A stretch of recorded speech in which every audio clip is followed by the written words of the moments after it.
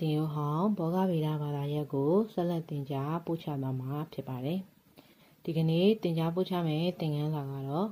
အခန်း6အပြည်ပြည်ဆိုင်ရာစီးပွားရေးဆက်သွယ်မှုများဆိုတဲ့အခန်းထဲမှာပါဝင်တဲ့ခေါင်းစဉ်ခွဲလေးတစ်ခုဖြစ်တဲ့6.6ကုံဖလှယ်မှုအချိုးဆိုတဲ့သင်ခန်းစာရဲ့ဒုတိယအပိုင်းကိုဆက်လက်ပြီးတော့သင်ကြားပို့ချဆွေးနွေးသွားမှာဖြစ်ပါတယ်။ကွန်ဖလင်မှုအချိုးဆိုတဲ့သင်ခန်းစာက မှတ်စုရှိအမျိုးအစားဖြစ်တဲ့အတွက်ကြောင့်မို့လို့သူ့ကိုသင်ကြားတဲ့အခါမှာနှစ်ပိုင်းခွဲပြီးတော့သင်ကြားရပါတယ်။ဒီကနေ့သင်ကြားမယ့်အပိုင်းကတော့ဒုတိယအပိုင်းပဲဖြစ်ပါတယ်။ကွန်ဖလင်မှုအချိုးသင်ခန်းစာရဲ့ပထမအပိုင်းကိုတော့အရှိမသင်ကြားပို့ချဆွေးနွေးခဲ့ပြီးဖြစ်ပါတယ်။ဒါကြောင့်မို့လို့ဒီကနေ့မှာတော့6.6ကုံဖလည်မှုအချိုးဆိုတဲ့သင်ခန်းစာရဲ့ဒုတိယအပိုင်းကိုဆက်လက်ပြီးတော့လေ့လာဆွေးနွေးကြည့်ကြရအောင်။ ကုန်ဖလှယ်မှုအချိုးသင်ခန်းစာရဲ့ဒုတိယအပိုင်းကိုဆက်လက်ပြီးတော့မလေ့လာခင်မဆွေးနွေးခင်မှာကုန်ဖလှယ်မှုအချိုးသင်ခန်းစာရဲ့ပထမအပိုင်းမှာဘာအကြောင်းလေးတွေကိုလေ့လာခဲ့တယ်လဲဆိုတာကို ပြန်လည်ပြီးတော့မှတ်မိစေဖို့အတွက်ပြန်လည်ဆွေးနွေးကြည့်ကြရအောင်။ဆရာမဒီမှာပြထားတဲ့အထဲမှာဆရာမတို့ပထမအပိုင်းမှာ ကွန်ဖလန်မှုအချိုးသင်ခန်းစာရဲ့ပထမအပိုင်းမှာသင်ကြားခဲ့တဲ့အကြောင်းအရာလေးတွေကိုပြန်ထည့်ပြီးတော့မေးထားတာဖြစ်ပါတယ်။အဓိကသင်ခဲ့တဲ့အကြောင်းအရာဖြစ်တဲ့ကွန်ဖလန်မှုအချိုးတိုးတက်ခြင်းအကြောင်းရင်း၃ချက်ရဲ့ကွန်ဖလန်မှုအချိုးကြာဆင်းခြင်းအကြောင်းရင်း၃ချက်ရေကိုသားတို့သမီးတို့အနေနဲ့ပြန်မှတ်မိစေဖို့အတွက်ဆရာမဒီမှာမေးထားတာလေးကိုတည်တည်ချာချာလေးဖြည့်ပေးကြည့်ပါ။ ပထမမေးထားတာတစ်ခုကကုန်လဲမှုအချိုးတိုးတက်စေတဲ့အကြောင်းရင်းဘယ်နှချက်ရှိတယ်လဲဆိုရင်၃ချက်ရှိတယ်။အဲဒီ၃ချက်ထဲကပထမအဦးဆုံးတစ်ချက်ကပို့ကုန်တိုးတက်တယ်။ပို့ကုန်ဈေးစာနှုန်းကိန်းတိုးတက်တယ်။သွင်းကုန်ဈေးစာနှုန်းကိန်းလည်းတိုးတက်တယ်။နှစ်ခုစလုံးတိုးနေတာချင်းအတူတူဘယ်သူကပိုပြီးတော့တိုးတာလဲ။ပို့ကုန်ကပိုပြီးတော့တိုးတာလား။သွင်းကုန်ကပိုပြီးတော့တိုးတာလား သူတို့နှစ်ခုရဲ့ကြားထဲမှာ question mark လေးပြထားတယ်။အဲဒီ question mark ဆိုတဲ့နေရာလေးမှာဘာထည့်ရမလဲ greater than ထည့်ရမလား less than ထည့်ရမလားအောက်မျိုးစဉ်းစားပြီးဖြည့်ပေးကြည့်ပါဒုတိယအကြောင်းမှာလည်းအဲတိုင်းပဲပိုးကုံဈေးစာနှုန်းကိန်းလည်းကြာဆင်းမယ်သွင်းကုံဈေးစာနှုန်းကိန်းလည်းကြာဆင်းမယ်နှစ်ခုစလုံးကြာဆင်းနေတဲ့အချိန်မှာဘသူကပိုပြီးတော့ကြာဆင်းတာလဲပိုးကုံဘက်ကလားသွင်းကုံဘက်ကလား အလဲက question mark ဆိုတဲ့နေရာလေးမှာဘာထည့်ရမလဲစဉ်းစားပြီးတော့ဖြေပေးကြည့်ပါနော်တတိယတစ်ချက်ကလည်းအဲတိုင်းပဲပိုးကုံရဲ့ဘေးနားလေးမှာ question mark ပြထားတယ်အလဲမှာတော့ညီများချင်းသွင်းကုံရဲ့ဘေးနားလေးမှာ question mark ပြထားတယ်အဲ့တော့ပိုးကုံဈေးစာနှုန်းကိန်းတိုးနေတဲ့အချိန်ဒါမှမဟုတ်ကျနေတဲ့အချိန်လားသွင်းကုံဈေးစာနှုန်းကိန်းတိုးနေတဲ့အချိန်ဒါမှမဟုတ်ကျနေတဲ့အချိန်လား အဲဒီ question mark ဆိုတဲ့နေရာလေးမှာဗာထည့်ရမလဲဆိုတာကိုစဉ်းစားပြီးတော့ဖြည့်ကြည့်ထားပါနော်ပြီးလို့ရှိရင်ပြန်ပြီးတော့ရမနဲ့အတူတူပြန်ပြောကြည့်မယ်အဲ့ဒီတိုင်းပဲဒီဘက်ကကွန်ပလီမှုအချိုးကြာစင်းခြင်းဆိုမှလည်းအချက်၃ချက်ရှိတယ်။အဲ့ဒီချက်၃ချက်မှာ question mark လေးတွေပြထားတဲ့နေရာမှာဘာလေးတွေဖြည့်ရမလဲဆိုတာကိုဒါတို့သမီးတို့တေချာလေးစဉ်းစားပြီးတော့ဖြည့်ထားကြည့်ပါ။ ဒါလိုမျိုးရဲ့ဆောင်းထဲမှာတေချာလေးစဉ်းစားပြီးတော့ချရေးထားကြည့်ပါပြီးသွားလို့ရှိရင်ဆရာမနဲ့အတူတစ်ခေါက်လောက်ပြန်ပြီးတော့ပြောကြည့်ကြမယ်ကဲချရေးထားကြည့်မယ်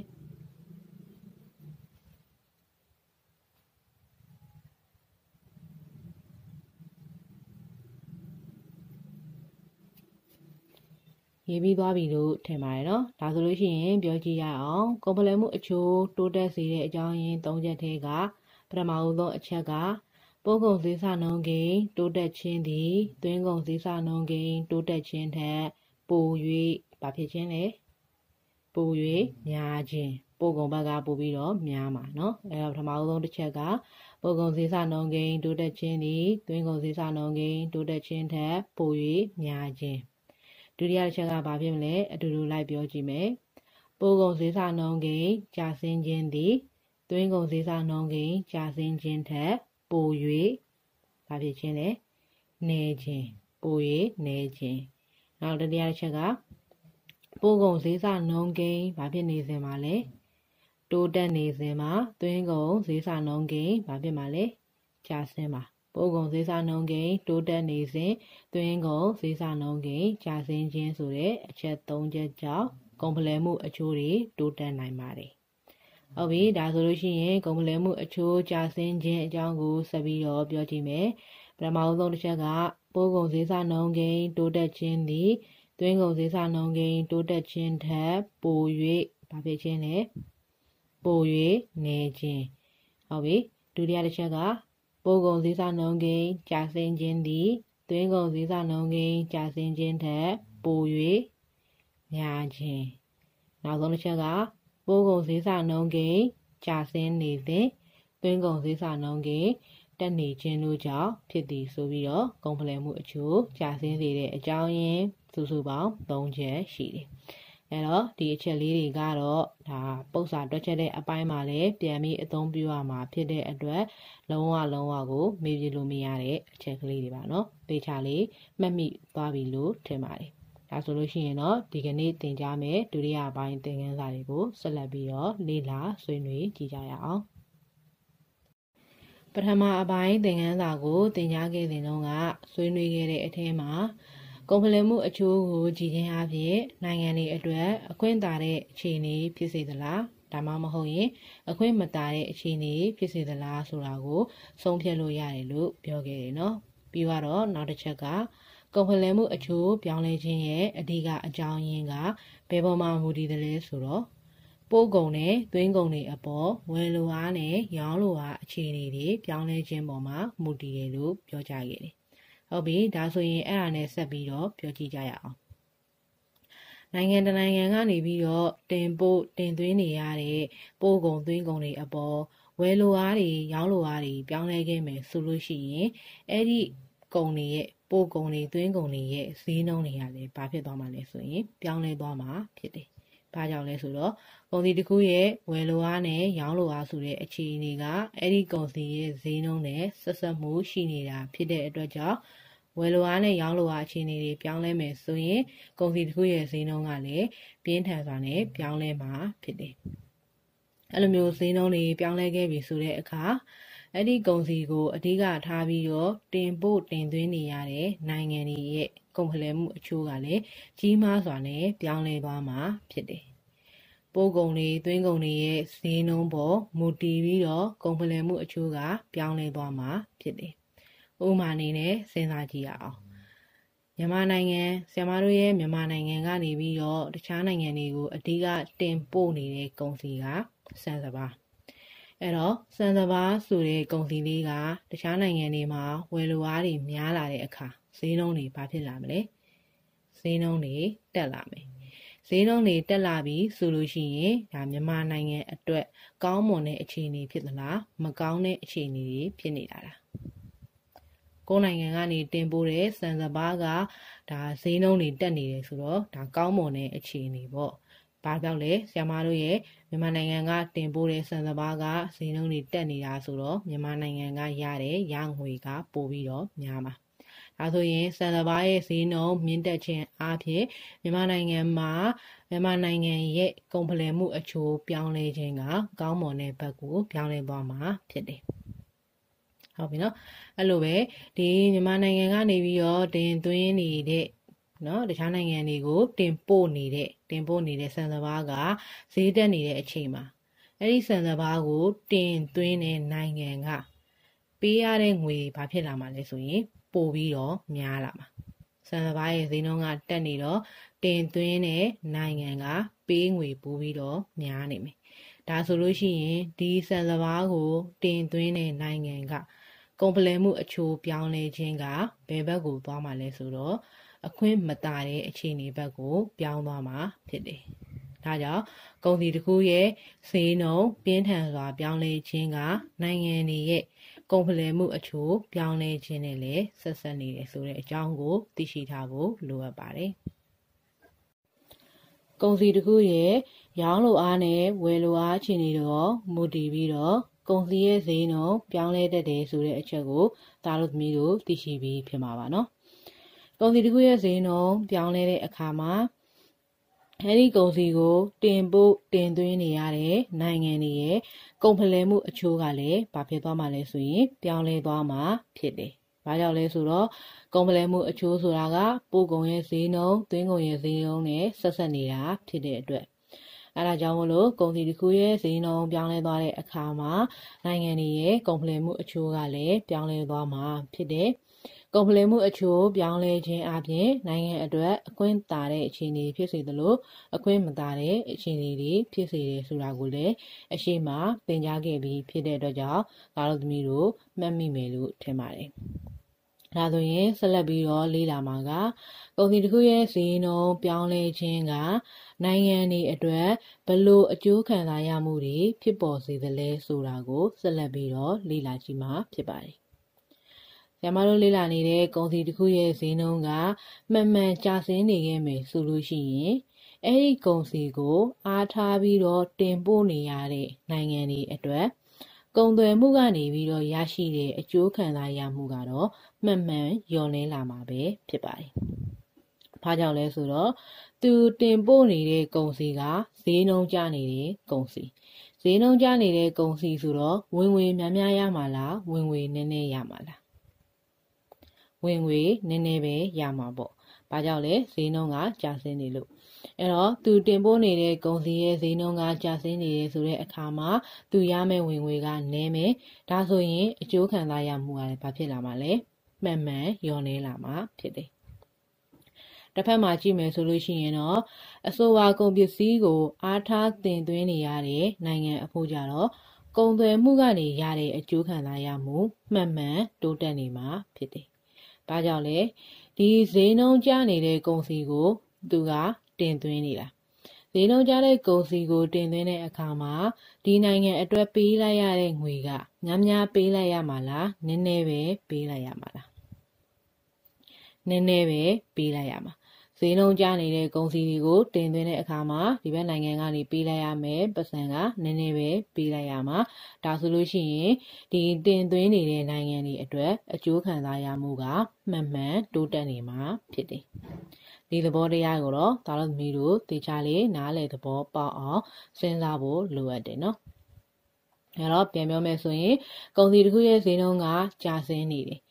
ကုန်စည်တစ်ခုရဲ့ဈေးနှုန်းကကျဆင်းနေတဲ့အခါအဲ့ဒီကုန်ပစ္စည်းကိုတင်ပို့တဲ့နိုင်ငံတွေရဲ့အကျိုးခံစားရမှုကလည်းကျဆင်းလာမှာဖြစ်တယ်။တစ်ဖက်မှာတော့တင်သွင်းနေတဲ့နိုင်ငံတွေရဲ့အကျိုးခံစားရမှုကတိုးတက်နေမှာဖြစ်တယ်။ဒါကကုန်စည်ရဲ့ဈေးနှုန်းဘာဖြစ်နေတဲ့အချိန်မှာလဲ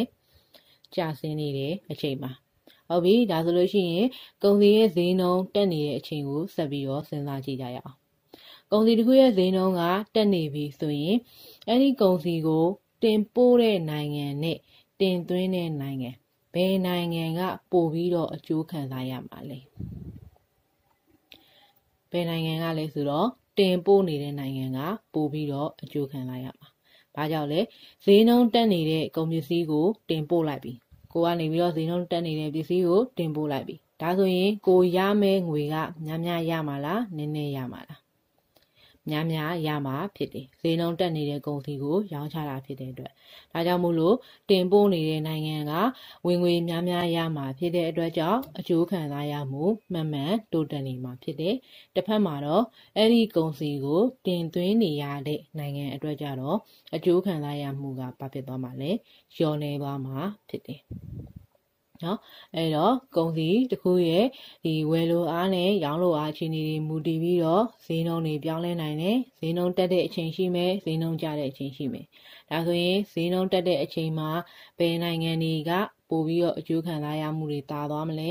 ဈေးနှုန်းကျဆင်းတဲ့အချိန်မှာဘယ်နိုင်ငံတွေကအကျိုးခံစားရမှုတွေတာသွားမလဲဆိုတာကိုသားတို့သမီးတို့တည်တည်ချာချာကိုယ်ကွယ်ပြပြလေးသိရှိထားဖို့လိုအပ်ပါတယ်နော် ဆက်လက်ပြီးတော့လေးလာကြည့်မှာကတော့နိုင်ငံတနိုင်ငံကအကယ်၍ကုန်ပလယ်မှုအချိုးအဆက်မပြတ်ကျဆင်းမှုကိုရင်ဆိုင်နေရပြီ။ကုန်ပလယ်မှုအချိုးကျဆင်းနေတဲ့အချိန်ကြီးပဲကြုံတွေ့နေရပြီ။ဒီနိုင်ငံအတွက်ကုန်ပလယ်မှုအချိုးတိုးတက်လာတယ်ဆိုတဲ့အချိန်မရှိဘဲနဲ့အဆက်မပြတ်ကျဆင်းမှုကိုရင်ဆိုင်နေရပြီဆိုလို့ရှိရင်တော့ဒီနိုင်ငံကကြာလာတဲ့အခါစီးပွားရေးအတွက်အခြေအနေကောင်းမှာမဟုတ်တော့ဘူး ဒါဆိုလို့ရှိရင်အဲ့ဒါလိုမျိုးကုန်ပလယ်မှုအချိုးအဆက်မပြတ်ကျဆင်းမှုကိုပြောင်းလဲဖို့အတွက်ဘာကိုအရင်ဦးဆုံးပြောင်းလဲရမလဲဆိုလို့ရှိရင်သူတို့ရဲ့ကုန်သွယ်မှုပုံစံကိုပြောင်းလဲရမှာဖြစ်တယ်။ဘာကိုပြောင်းလဲရမှာလဲ။ကုန်သွယ်မှုပုံစံကိုပြောင်းလဲရမှာ ဒီကုန်ဖလှယ်မှုအချိုးဆိုတာကဒီကုန်ဖလှယ်အဲကုန်သွယ်မှုပုံသဏ္ဍာန်နဲ့ဆက်ဆက်နေတာဖြစ်တဲ့အတွက်ကုန်ဖလှယ်မှုအချိုးအဆက်မပြတ်ကျဆင်းနေတဲ့အရာကြီးကိုကုစားဖို့အတွက်ဆိုလို့ရှိရင်ကုန်သွယ်မှုပုံသဏ္ဍာန်ကိုပြောင်းလဲပေးရမှာဖြစ်တယ်။ဟုတ်ပြီဒါဆိုလို့ရှိရင်ဘယ်လိုပြောင်းလဲမှာလဲ။ပို့ကုန်အနေနဲ့ဘာတွေကိုတင်ပို့ပြီးတော့သွင်းကုန်အနေနဲ့ဘာတွေကိုတင်သွင်းရမလဲဆိုတာကိုဆက်လက်ပြီးတော့လေ့လာကြည့်ကြရအောင် ပုံစံမှုပုံစံပြောင်းလဲမယ်ဆိုတဲ့အခါမှာပို့ကုန်အနေနဲ့ဆိုလို့ရှိရင်ဈေးနှုန်းကျနေတဲ့ပို့ကုန်ဒါမှမဟုတ်ရင် လုံလောက်စွာနဲ့ဈေးနှုန်းမတက်တဲ့ကုန်စည်တွေအဲ့ဒီကုန်စည်တွေကို တင်ပို့နေမယ်အစားဘသူကိုပြောင်းလဲပြီးတော့တင်ပို့ရမလဲဆိုရင်ဈေးနှုန်းတက်နေတဲ့ပို့ကုန်ဒါမှမဟုတ်လျင်မြန်စွာဈေးနှုန်းတက်နေသော ကုန်စည်တွေကိုပြောင်းလဲပြီးတော့တင်ပို့ရမှာဖြစ်တယ် ကိုတင်ပို့နေတဲ့ကုန်စည်မှာဈေးနှုန်းကျတာကို တင်ပို့မလားဈေးနှုန်းတက်တာကိုတင်ပို့မလားစဉ်းစားကြည့်ဈေးနှုန်းတက်တာကို တင်ပို့ရမှာပေါ့ဈေးနှုန်းတက်တာကိုတင်ပို့တော့မှကိုယ့်အတွက်ဝင်ငွေများများပိုရမှာဒါဆိုလို့ရှိရင်ကိုယ့်နိုင်ငံအတွက်ကုန်ဖလှယ်မှုအချိုးတွေတိုးတက်မှာဖြစ်တယ်ဒါကြောင့်ကုန်သွယ်မှုပုံစံပြောင်းလဲတယ်ဆိုတဲ့အခါမှာပို့ကုန်နေရာမှာဘယ်သူနေရာကိုဘယ်သူကိုအစားသွင်းမလဲဆိုတော့ဈေးနှုန်းကျနေတဲ့ပို့ကုန်တွေရဲ့နေရာမှာ ဈေးနှုန်းတက်နေတဲ့ပို့ကုန်တွေကိုအစားထိုးပြောင်းလဲပြီးတော့တင်ပို့ရမှာဖြစ်တယ်။ဒါကတော့ပို့ကုန်အပိုင်းဟုတ်ပြီဒါဆိုလို့ရှိရင်သွင်းကုန်အပိုင်းသွင်းကုန်အပိုင်းမှာရောဘယ်လိုမျိုးပြောင်းလဲပြီးတော့တင်သွင်းရမလဲစဉ်းစားကြည့်မယ်။ကိုယ်နိုင်ငံကကုန်ပလည်မှုအချိုးအဆက်မပြတ်ကျဆင်းနေတာတနည်းအားဖြင့်စီးပွားရေးတွေကျဆင်းနေတယ်ဒါဝင်ငွေတွေလျော့နေနေတာဖြစ်တယ်။အဲ့လိုမျိုးဝင်ငွေတွေလျော့နေနေတဲ့အချိန်မှာသွင်းကုန်တင်သွင်းတဲ့အခါ ဈေးနှုန်းတွေများနေတဲ့သွင်းကုန်ဈေးနှုန်းတွေတက်နေတဲ့သွင်းကုန်ကိုသွားဝယ်လို့အဆင်မပြေဘူးအစာကလေးကကိုးနိုင်ငံမှာကစီးပွားရေးကျနေတဲ့ဟာကိုဈေးကြီးရဝယ်လို့အဆင်ပြေပါ့မလားအဆင်မပြေဘူးเนาะဒါကြောင့်သွင်းကုန်တွေတင်သွင်းတဲ့အခါမှာဘယ်လိုမျိုးသွင်းကုန်ကိုတင်သွင်းရမလဲဆိုတော့ ဈေးနှုန်းချိုတာတဲ့သွင်းကုန်တွေကိုပြောင်းလဲတင်သွင်းရမှာဖြစ်တယ်အဲ့တော့ဈေးနှုန်းချိုတာတဲ့သွင်းကုန်တွေကိုပြောင်းလဲပြီးတော့တင်သွင်းတယ်ပြောင်းလဲပြီးတော့ဝယ်ယူခြင်းအပြင်ကိုယ့်ဘက်ကပေးလိုက်ရတဲ့ပတ်စံတွေဘာဖြစ်သွားမလဲလျော့နေသွားမယ်ဒါဆိုလို့ရှိရင်ကိုယ်နိုင်ငံအတွက်ကုန်ဖလှယ်မှုအချိုးကိုဘာဖြစ်လာစေလဲဆိုရင်တိုးတက်လာနိုင်တဲ့သဘောတရားမျိုးတွေ့ရမယ် အဲတော့ကုန်လည်မှုအချို့အစမပြတ်ကြာဆင်းနေတဲ့နိုင်ငံတွေရှိလာခဲ့မယ်ဆိုရင်အဲ့လိုမျိုးကြာဆင်းနေတာကိုကုစားဖို့အတွက်ဒီနိုင်ငံရဲ့ကုန်သွယ်မှုပုံသဏ္ဍာန်ကိုမလုပ်ရမလဲပြောင်းလဲပြရမယ်ကုန်သွယ်မှုလို့ပြောတဲ့အခါမှာပို့ကုန်ရှိမယ်သွင်းကုန်ရှိမယ်ပို့ကုန်အနေနဲ့ဘာတွေကိုပြောင်းလဲရမလဲဆိုရင်ဈေးနှုန်းကျနေတဲ့ပို့ကုန်တွေအစားဈေးနှုန်းတက်နေတဲ့ပို့ကုန်တွေကိုပြောင်းလဲပြီးတော့တင်ပို့ရမယ် သွင်းကုန်အနေနဲ့ဆိုရင်ဈေးနှုန်းချိုသာတဲ့သွင်းကုန်တွေကိုပြောင်းလဲပြီးတော့တင်သွင်းရမယ်ဒါဆိုလို့ရှိရင်တော့သူတို့ရဲ့ကုန်သွယ်မှုပုံစံပြောင်းလဲသွားတာဖြစ်တဲ့အတွက်ဒီကုန်ဖလှယ်မှုအချိုးကလည်းပြောင်းလဲသွားမှာဖြစ်တယ်ယနေ့ခေတ်ကမ္ဘာဈေးကွက်မှာအဓိကတင်ပို့တင်သွင်းနေရတဲ့ထုတ်ကုန်အမျိုးအစားကနှစ်မျိုးတွေ့ရှိရပါတယ်။ ဒါကတော့မူလထုတ်ကုန်နဲ့စမှုထုတ်ကုန်ဆိုပြီးတော့အဓိကတင်ပို့တင်သွင်းနေတာဒီထုတ်ကုန်နှစ်မျိုးကိုပဲပြုလုပ်နေတာဖြစ်ပါတယ်။အဲဒီထုတ်ကုန်နှစ်ခုရဲ့ဈေးနှုန်းအကြောင်းကို လေ့လာကြည့်ကြရအောင်မူလထုတ်ကုန်ဆိုတာကတော့သားတို့သမီးတို့သိရှိပြီးဖြစ်မှာပါနော်။နောင်မာနဲ့နှစ်မှာကလေးကသင်ကြားခဲ့ပြီးသားဖြစ်တဲ့မူလထုတ်ကုန်ဆိုတာကဒါလေယာသားငါတစ်တော်ဆိုတဲ့ပုံစံမျိုးဒါတဘာဝတင်ရဇာတဆွမ်းအားစုတွေ ပေါ့နော်အဲ့လိုမျိုးမူလထုတ်ကုန်နေရဲ့ဒီဘက်ကစမှုထုတ်ကုန်ဆိုတာကဥမာအဖြစ်ဆိုဘာတွေရှိမလဲစက်မှုလုပ်ငန်းကနေပြီးတော့ထွက်တဲ့ထုတ်ကုန်အများစုပေါ့နော်ဥပမာဆိုလို့ရှိရင်ဒါထားပါတော့မော်တော်ကားပေါ့နော်ဒါအဲ့တော့ဒီဈေးနှုန်းနှစ်ခုကိုနှိုင်းယှဉ်ကြည့်မယ်မူလထုတ်ကုန်နဲ့စက်မှုထုတ်ကုန်ရဲ့ဈေးနှုန်းကိုနှိုင်းယှဉ်ကြည့်တဲ့အခါမှာဘယ်ထုတ်ကုန်တွေရဲ့ဈေးနှုန်းကပိုပြီးတော့များနေတယ် စက်မှုထုတ်ကုန်တွေရဲ့ဈေးနှုန်းကပိုပြီးတော့များနေတယ်။ဘာကြောင့်လဲဆိုတော့စက်မှုထုတ်ကုန်ဆိုတာကဒါနီးပညာဘိုင်းတွေကိုထည့်သွင်းအသုံးပြုပြီးတော့ထုတ်လုပ်ထားတဲ့ထုတ်ကုန်တွေဖြစ်တယ်။မူလထုတ်ကုန်ဆိုတာကတော့အများစုကသဘာဝအလျောက်ရရှိတဲ့တင်ရစာတာပစ္စည်းမျိုးတွေဖြစ်တယ်။အဲ့တော့ဒီထုတ်ကုန်နှစ်ခုကိုနှိုင်းယှဉ်တဲ့အခါမှာမူလထုတ်ကုန်တွေရဲ့ကမ္ဘာစည်းနှုန်းကစက်မှုထုတ်ကုန်တွေရဲ့ကမ္ဘာစည်းနှုန်းထက်ပိုပြီးတော့နည်းနေတယ်။ ဟုတ်ပြီဒါဆိုရင်နောက်တစ်ခုစဉ်းစားကြည့်ရအောင်။ကျမတို့မြန်မာနိုင်ငံမြန်မာနိုင်ငံကနေပြီးတော့အဓိကတင်ပို့နေတဲ့ပို့ကုန်အမျိုးအစားကမူလထုတ်ကုန်ထဲမှာပါဝင်သလားစက်မှုထုတ်ကုန်ထဲမှာပါဝင်သလားကျမတို့မြန်မာနိုင်ငံကနေပြီးတော့အဓိကတင်ပို့နေတဲ့ပို့ကုန်အမျိုးအစားတွေမှာအများစုပါဝင်နေတာကမူလာထုတ်ကုန်ပဲဖြစ်တယ်။ ဟုတ်ပြီဒါဆိုလို့ရှိရင်တစ်ဖက်ကဒီတင်သွင်းနေတဲ့အထဲမှာဘာတွေပြန်ပြီးတော့တင်သွင်းနေလဲဆိုတော့စက်မှုထုတ်ကုန်တွေကိုပြန်ပြီးတော့တင်သွင်းနေရတာဖြစ်တယ်နော်အဲ့တော့မော်တော်ကားတို့လိုမျိုးစက်မှုထုတ်ကုန်ပိုင်းဆိုင်ရာတွေကိုဒါမြန်မာနိုင်ငံအတွင်းမှာအများအပြားမထုတ်လုပ်နိုင်တဲ့အတွက်ကြောင့်မြန်မာနိုင်ငံအတွင်းမှာရှိတဲ့ပြည်သူတွေသုံးနိုင်ဖို့အတွက်အသုံးပြုနိုင်ဖို့အတွက်ကတခြားနိုင်ငံကနေစက်မှုထုတ်ကုန်တွေကိုပြန်ပြီးတော့တင်သွင်းတယ် ဟုတ်ပြီအဲ့တော့စဉ်းစားကြည့်မယ်ဆရာမတို့ရဲ့မြန်မာနိုင်ငံကတင်ပို့နေတာကမူလာထုတ်ကုန်တွေကိုတင်ပို့တယ်တင်သွင်းနေတာကစက်မှုထုတ်ကုန်တွေကိုတင်သွင်းတယ်ဟုတ်ပြီနော်အဲ့ဒါဆိုရင်ပေးရတဲ့ငွေနဲ့ရတဲ့ငွေဘယ်ဟာကပို့ပြီးတော့များတယ်လဲပို့ကုန်ဆိုတာကကိုရတဲ့ငွေသွင်းကုန်ဆိုတာကကိုကပေးလိုက်ရမယ့်ငွေပို့ကုန်နဲ့သွင်းကုန်ဘယ်ဟာကပို့ပြီးတော့အခြေအနေတွေကောင်းနေတယ်လဲ ပေးငွေနဲ့ရငွေဘယ်ဟာကပို့ပြီးတော့များနေတယ်လဲသားသမီးတို့စဉ်းစားကြည့်ပေးရတဲ့ငွေကပို့ပြီးတော့များနေမှာပေါ့ဟုတ်တယ်နော်ကိုကတင်ပို့နေတဲ့မူလထုတ်ကုန်တွေကဈေးနှုန်းကနည်းနည်းလေးပဲရတာဒီဘက်ကတင်သွင်းနေတဲ့စက်မှုထုတ်ကုန်တွေကဈေးနှုန်းများများပေးလိုက်ရဒါဆိုရင်ရငွေနဲ့ပေးငွေနှိုင်းယှဉ်ကြည့်တဲ့အခါမှာဘယ်ဟာကပိုပြီးတော့များနေတယ်လဲပေးငွေကပိုပြီးတော့များနေတယ်ဒါဆိုလို့ရှိရင်အဲ့ဒီနိုင်ငံအတွက် ကုန်ပလင်မှုအချိုးကိုစဉ်းစားကြည့်မယ်ဆိုရင် အခွင့်တာမလားအခွင့်မတာဘူးလားပေးနေရတာများတာဖြစ်တဲ့အတွက်ကြောင့်မို့လို့အခွင့်မတာတဲ့ကုန်ဖလှယ်မှုအချိုးနဲ့ရင်ဆိုင်နေရမှာဖြစ်တယ်။ဒါဆိုရင်ဆရာမတို့ရဲ့မြန်မာနိုင်ငံကအရှိကပြောခဲ့သလိုပဲကုန်ဖလှယ်မှုအချိုးကြာဆင်းနေတဲ့အခြေအနေတွေဘာဖြစ်နေရလဲကြုံတွေ့နေရတယ်။အဲ့လိုကြုံတွေ့နေရပြီဆိုလို့ရှိရင် ကုံသွင်းမှုပုံစံကိုဘာလို့ပြရမှာလဲပြောင်းလဲပြရမှာ။ဟုတ်ပြီနော်။အဲ့တော့အခုကတော့ဒီကမ္ဘာဈေးနှုန်းမူလထုတ်ကုန်တွေရဲ့ကမ္ဘာဈေးနှုန်းနဲ့စမှုထုတ်ကုန်တွေရဲ့ကမ္ဘာဈေးနှုန်းအကြောင်းကိုပြန်ပြီးတော့ဆက်ပြီးတော့လေ့လာကြည့်ကြမယ်အဲတော့ဖတ်ဆောင်ထဲမှာပါဝင်တဲ့သင်ခန်းစာအကြောင်းအရာတွေကိုဒါသားတို့သမီးတို့နားလည်စေဖို့အတွက်ဆရာမကဒီမှာဒါဇရာပုံစံမျိုးလေးပြုလုပ်ပြီးတော့ဖော်ပြထားတာကိုတွေ့ရမှာပါ။ ဒါကတော့ဗာလဲဆိုတော့ပွေမျိုးစဲနိုင်ငံတွေကအဓိကတင်ပို့နေရတာတင်ပို့နေရတာဘလို့ထုတ်ကုန်မျိုးတွေတင်ပို့လဲဆိုတော့မူလထုတ်ကုန်တွေကိုတင်ပို့တယ်တင်သွင်းတာကြတော့ဘာကိုတင်သွင်းလဲစမှုထုတ်ကုန်တွေကိုတင်သွင်းတယ်အဲ့တော့ခဏကပြောခဲ့သလိုပဲကျွန်တော်တို့မြန်မာနိုင်ငံလိုမျိုးပွင့်မျိုးစဲနိုင်ငံတွေကမူလထုတ်ကုန်ကိုတင်ပို့တဲ့အတွက်ရတဲ့ငွေကနည်းမယ်စမှုထုတ်ကုန်ကိုတင်သွင်းနေရဖြစ်တဲ့ကြောင့်ပေးရတဲ့ငွေကများနေမယ် ဒါဆိုရင်အခွင့်မတာတဲ့ကုန်ဖလှယ်မှုအချိုးနဲ့ရင်ဆိုင်နေရမှာပဲဖြစ်ပါတယ်ဒါကဖွံ့ဖြိုးဆဲနိုင်ငံတွေနောက်ဖွံ့ဖြိုးပြီးနိုင်ငံကြောင်းကိုဆက်ပြီးတော့လေ့လာကြည့်မယ်ဖွံ့ဖြိုးပြီးနိုင်ငံကြတော့ဘာတွေကိုအဓိကထားပြီးတင်ပို့နေတယ်ဆိုတော့သူကစက်မှုထုံးကုန်တွေကိုအဓိကထားပြီးတော့တင်ပို့တယ်ဘာတွေကိုပြန်ပြီးတော့တင်သွင်းတယ်လဲ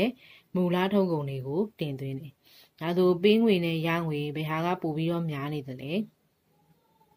ရငွေကပို့ပြီးတော့များနေတယ်။သူတို့တင်ပို့နေတဲ့စက်မှုထုတ်ကုန်တွေကဈေးနှုန်းတွေများနေတာဖြစ်တော့သူတို့အတွက်ရငွေကပို့ပြီးတော့များတယ်။ဒါဆိုရင်သူတို့နိုင်ငံအတွက်ဘလို့ကုန်ပလည်မှုအချိုးနဲ့ရင်ဆိုင်ရမှာလဲဆိုရင်အခွင့်တာတဲ့ကုန်ပလည်မှုအချိုးနဲ့ရင်ဆိုင်နေရမှာပဲဖြစ်တယ်။ ဒါကြောင့်မလို့ဒီကမ္ဘာဈေးကွက်မှာအပြည်ပြည်ဆိုင်ရာကုန်သွယ်မှုပြုလုပ်ခြင်းအားဖြင့်ဆိုလို့ရှိရင်ဖွံ့ဖြိုးဆဲနိုင်ငံတွေကစီးပွားရေးပြဿနာတွေပိုပြီးတော့ဆိုးရွားလာတယ်ဆိုတဲ့အကြောင်းကိုတွေ့ရှိရပါတယ်တဲ့ဒီလိုကုန်ဖလှယ်မှုအချိုးအခွင့်မတာတဲ့ကုန်ဖလှယ်မှုအချိုးတွေပဲစတိုက်စတိုက်ရင်ဆိုင်နေရမယ်ဆိုလို့ရှိရင်အဲ့ဒီနိုင်ငံရဲ့စီးပွားရေးပြဿနာဘာဖြစ်လာစေပြီလဲဆိုရင်ပိုပြီးတော့ဆိုးရွားလာစေပြီအဲ့တော့အဲ့လိုမျိုးဆိုးရွားလာစေတဲ့အချက်တွေကိုဒီကမ္ဘာကုန်သွယ်ရေးက လစ်လျူရှုထားမယ်ဆိုလို့ရှိရင်ဆရာမတို့မြန်မာနိုင်ငံလိုမျိုးဖွံ့ဖြိုးဆဲနိုင်ငံတွေရဲ့စီးပွားရေးကလွန်စွာမှာစိုးရိမ်ဖွယ်ရာအခြေအနေတွေနဲ့ကြုံတွေ့ရမှာဖြစ်တယ်။ဒါကြောင့်အဲ့လိုမျိုးမဖြစ်စေဖို့အတွက်တချို့တချို့သောအဖွဲ့အစည်းတွေကဒီကမ္ဘာကုန်သွယ်ရေးကိုဘယ်လိုမျိုးစီးမြင်နေဘယ်လိုမျိုးဥပဒေတွေเนาะအဲ့ဒါတွေနဲ့ကာကွယ်ပေးထားသလဲဆိုတာကိုဆက်ပြီးတော့လေ့လာကြည့်ကြမယ်။ အရှိကပြောကြားထားတဲ့အထဲမှာကျမတို့မြန်မာနိုင်ငံလိုမျိုးဖွံ့ဖြိုးဆဲနိုင်ငံတွေကအအခွင့်မသာတဲ့ကုန်ပလင်မှုအချိုးတွေနဲ့ရင်ဆိုင်နေရတာဖြစ်တယ်။အရေးဆိုင်ရာကုန်သွယ်မှုမှာဒီလိုဖွံ့ဖြိုးဆဲနိုင်ငံတွေကအခွင့်မသာတဲ့ကုန်ပလင်မှုအချိုးတွေကိုအများဆုံးရင်ဆိုင်နေရတာဖြစ်ပါတယ်။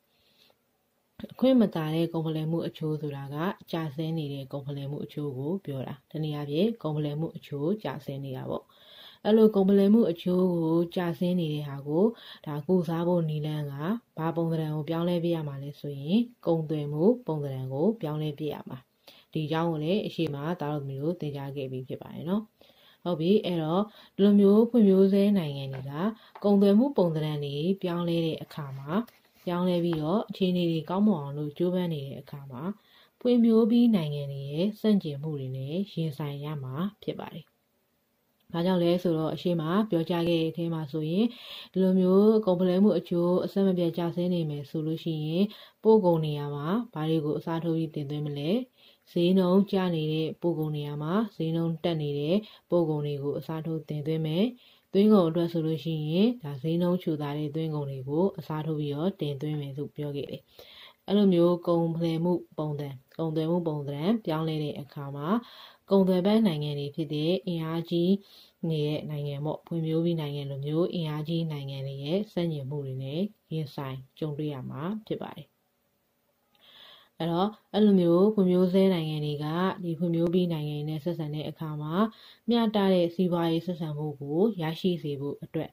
အပြည်ပြည်ဆိုင်ရာစီးပွားရေးအစီအစဉ်တွေကိုတည်ထောင်ပေးဖို့အတွက်တောင်းဆိုလာကြတယ်။ တနည်းအားဖြင့်ဆိုလို့ရှိရင်ဒီလိုမျိုးဖွံ့ဖြိုးဆဲနိုင်ငံတွေကိုကာကွယ်ပေးဖို့အတွက်အစီအစဉ်တွေကိုဒါဖွံ့ဖြိုးဆဲနိုင်ငံတွေကတောင်းဆိုလာကြတာဖြစ်တယ်။နောက်တစ်ခုကအာကုလသမဂ္ဂနော်ကမ္ဘာကုန်သွယ်ရေးကိုကုလသမဂ္ဂကလည်းယခုလက်ရှိမြန်မာကာလမှာဆိုလို့ရှိရင်ကုန်သွယ်ရေးနဲ့ဖွံ့ဖြိုးရေးညီလာခံနောက်တစ်ခုကကမ္ဘာကုန်သွယ်ရေးအဖွဲ့ဆိုပြီးတော့အဲ့လိုအဖွဲ့အစည်းတွေကိုဖွဲ့စည်းတယ်ပြောရလို့ရှိရင်ဒါ အစည်းအဝေးတွေညီလာခံတွေပေါ့အဲ့ဒါတွေကိုမှန်မှန်ကျင်းပပြီးတော့ဖွံ့ဖြိုးဆဲနိုင်ငံတွေမှာအကျိုးခံစားရဖို့ဒီအပြည်ပြည်ဆိုင်ရာကုန်သွယ်ရေးကနေပြီးတော့အကျိုးခံစားရမှုမြင့်တက်စေဖို့အတွက်ပူးပေါင်းဆောင်ရွက်တဲ့နည်းလမ်းတွေနဲ့ဆောင်ရွက်ပေးနေတယ်ဆိုတာကိုတွေ့ရှိရမှာဖြစ်ပါတယ်။ ဒါကတော့ဒီအပြည်ပြည်ဆိုင်ရာကုန်သွယ်မှုမှာဒီဖွံ့ဖြိုးဆဲနိုင်ငံတွေကြုံတွေ့ရမယ့်ပြဿနာတွေကိုဘလို့အဖွဲ့အစည်းမျိုးတွေကတာဝန်ယူပြီးတော့ဖြေရှင်းပေးနေလဲဆောင်ရွက်ပေးနေလဲဆိုတာကိုပြောကြားသွားတာပဲဖြစ်ပါတယ်။အခုဖော်ပြထားတဲ့ပုံလေးကတော့ဆရာမတို့အရှိမတင်ကြားခဲ့တဲ့ ဖွံ့ဖြိုးဆဲနိုင်ငံတွေကိုပြည်ပြည်ဆိုင်ရာကုန်သွယ်မှုပြုလုပ်တဲ့အခါမှာဒါဖွံ့ဖြိုးပြီးနိုင်ငံတွေကနေပြီးတော့စက်ညင်မှုတွေနဲ့ရင်ဆိုင်လာရတဲ့အခါမျှတတဲ့စီးပွားရေးဆက်ဆံမှုတွေရရှိဖို့အတွက်အာဖွံ့ဖြိုးဆဲနိုင်ငံတွေကတောင်းဆိုတဲ့အစီအစဉ်တစ်တွေပြီးတော့ကမ္ဘာကုလသမဂ္ဂကနေပြီးတော့ဖွဲ့စည်းထားတဲ့ကုန်သွယ်မှုနဲ့ဖွံ့ဖြိုးရေးညီလာခံကမ္ဘာကုန်သွယ်ရေးအဖွဲ့ဆိုတဲ့အကြောင်းတွေကိုဒါသားတို့သမီးတို့ပို့ပြီးတော့သိရှိစေဖို့အတွက် အင်တာနက်စာမျက်နှာမှာရှာကြည့်လိုက်တဲ့အခါထွက်ပေါ်လာတဲ့ပုံလေးတွေကိုဒါသားတို့သမီးတို့အတွက်ဒါဗဟုသုတရစေဖို့အတွက်က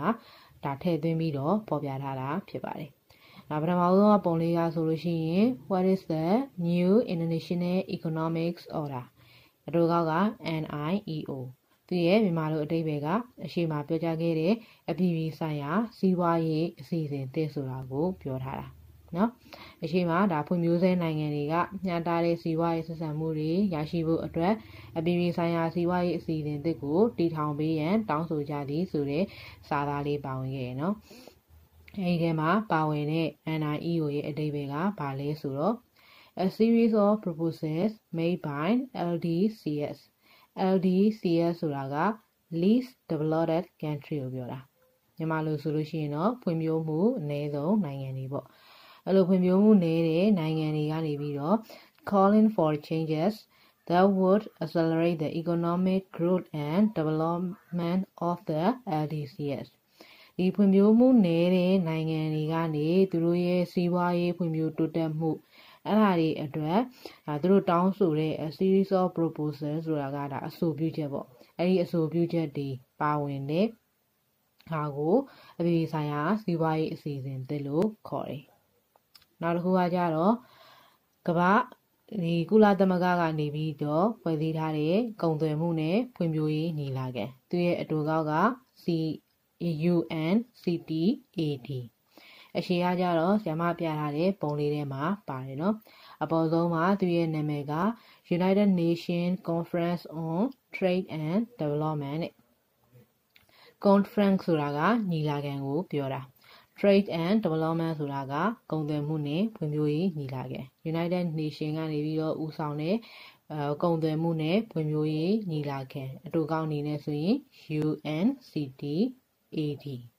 သူရဲ့အကြောင်းအရာလေးတွေကအောက်မှာပေးထားတဲ့စာထဲမှာပါဝင်တယ်။ဒါတို့သမီးတို့သေချာလေးကြည့်ပြီးတော့ဖတ်ကြည့်ကြပါ။ เนาะဒါလေးကဒီအင်တာနက်စာမျက်နှာမှာရှာကြည့်လိုက်မယ်ဆိုလို့ရှိရင်တော့ဒါတို့သမီးတို့ကိုယ်တိုင်ရှာကြည့်လိုက်မယ်ဆိုလို့ရှိရင်တော့ပို့ပြီးတော့စိတ်ဝင်ကောင်းတဲ့စိတ်ဝင်စားစရာကောင်းတဲ့ပုံလေးတွေစာလေးတွေထွက်လာမှာပါ။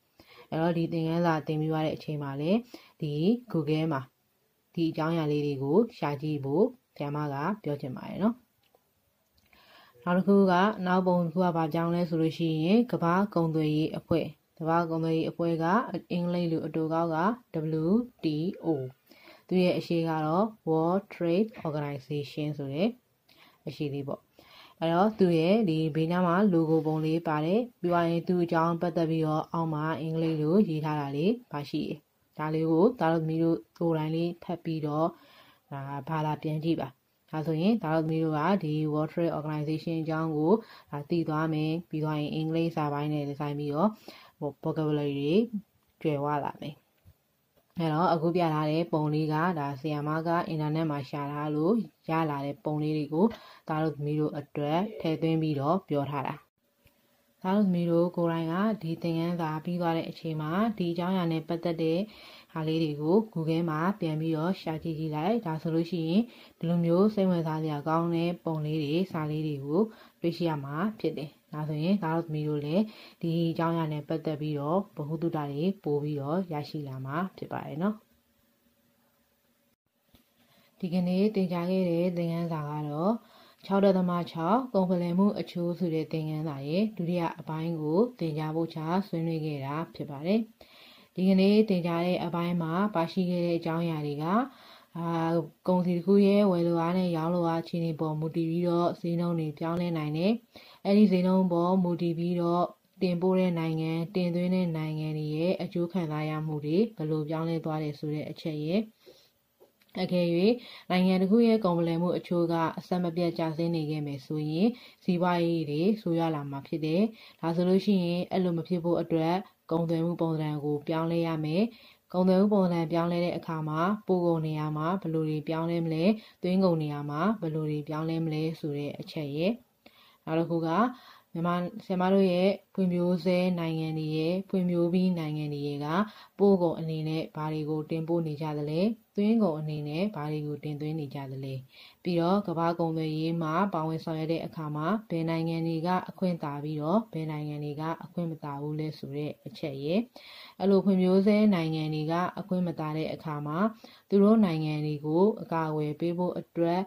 အဲကမ္ဘာကုလသမဂ္ဂကနေပြီးတော့ဘလို့အစီအစဉ်တွေဘလို့ညီလာခံတွေကိုဆောင်ရွက်ပြီးတော့ဖြည့်ရှင်းပေးလဲဆိုတာရယ်ဆိုတဲ့အချက်တွေကိုဒီကနေ့မှာသင်ကြားပို့ချဆွေးနွေးခဲ့တာဖြစ်ပါတယ်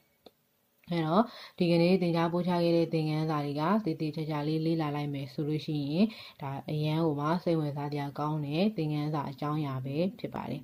အဲတော့ဒါတို့မျိုးကိုယ်တိုင်ကဆ iam နဲ့တစ်ခေါက်အတူတူလေ့လာပြီးသွားတဲ့အခါမှာ ဖတ်စာအုပ်ထဲမှာပါဝင်တဲ့သင်ခန်းစာအကြောင်းအရာတွေကိုကိုကိုယ်တိုင်ပြန်ပြီးတော့ဖတ်ကြည့်ပါလေ့လာကြည့်ပါဒါဆိုရင်တော့ပို့ပြီးတော့မှတ်မိသွားမှာဖြစ်ပါတယ်လေ့လာပြီးသွားပြီဆိုလို့ရှိရင်တော့ဆက်ပြီးတော့မေခွန်းဟောင်းစာအုပ်ကိုအသုံးပြုဖို့တိုက်တွန်းခြင်းပါတယ်ဒီကနေ့သင်ခဲ့တဲ့သင်ခန်းစာမှာတော့အချိန်တိုင်းတာအခက်အခဲကြောင့်လေ့ကျင့်ခန်းတွေမပေးနိုင်ခဲ့ဘူးဒါကြောင့်မို့လို့ ဒီကနေ့သင်ခဲ့တဲ့သင်ခန်းစာနဲ့ပတ်သက်တဲ့လေ့ကျင့်ခန်းတွေကိုနားတော်သမီးတို့ကမေခွန်းဟောင်းစာအုပ်ထဲကနေပြီးတော့ပြန်လည်ပြီးတော့လေ့ကျင့်ကြည့်ပါပြန်လည်လေ့ကျင့်လိုက်တဲ့အခါမှာတော့ဒါတော်သမီးတို့သင်ကြားခဲ့တဲ့သင်ခန်းစာတွေကိုပို့ပြီးတော့မှတ်မိသွားသေးမှာပဲဖြစ်ပါတယ်ဒါကြောင့်မိကွန်းဟောင်းစာအုပ်ကိုအသုံးပြုရင်းနဲ့ဒါတော်သမီးတို့ရဲ့သင်ကြားသင်ယူမှုကိုပိုမိုအထောက်အကူပြုနိုင်ပါစေလို့ဆုတောင်းရင်ညီမရဲ့သင်ခန်းစာကိုဒီမှာနေမယ်အဆုံးသတ်လိုက်ပါတော့မယ်။